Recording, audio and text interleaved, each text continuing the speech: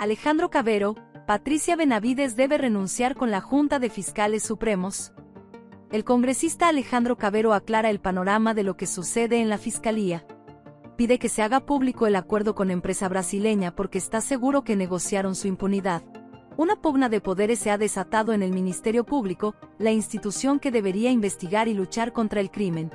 La fiscal de la Nación, Patricia Benavides, es acusada de liderar una organización criminal y favorecer a niños y mochasueldos a cambio de votos para permanecer en el cargo. Y por el otro lado, se acusa a un grupo de fiscales de querer recuperar el poder que un lagarto les heredó.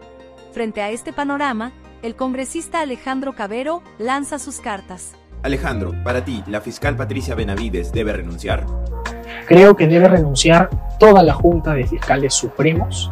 Tenemos que ir a una reorganización del Ministerio Público para evitar pugnas intestinas que dañan la institucionalidad y socavan la democracia. Esa supuesta compra de votos en el Congreso a través de su asesor es algo inaceptable para una fiscal? Por supuesto, digamos, eh, tanto como se criticó la politización de las decisiones de la Fiscalía con Zoraida Ábalos y con Pablo Sánchez, tiene que criticarse también con Patricia Benavides. Y aquellos congresistas que hayan intercambiado su voto por archivar investigaciones tienen que ser investigados y sancionados con toda contundencia. Congresista, ¿cuál es el trasfondo de todo esto? Yo creo que hay una lucha intestina por el control y la politización del Ministerio Público. Si los fiscales quieren hacer política, que vengan al Congreso, pero no usen el Ministerio Público. ¿La Junta Nacional de Justicia está calificada moral y éticamente para la labor que hace?